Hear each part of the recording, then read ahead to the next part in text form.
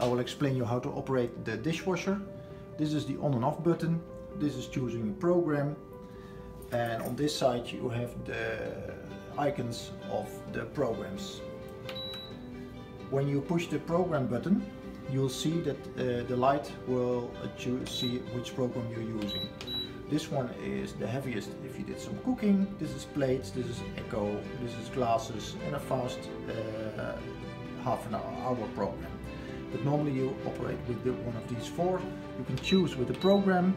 Uh, now I choose the heavy cooking program. Uh, don't forget to put one of the dishwasher tablets in. You can leave the plastic on, it will uh, melt. Close it, close the door and the program will start running. Please leave the program uh, running till it's finished or else the, the system will be disrupted. Thank you.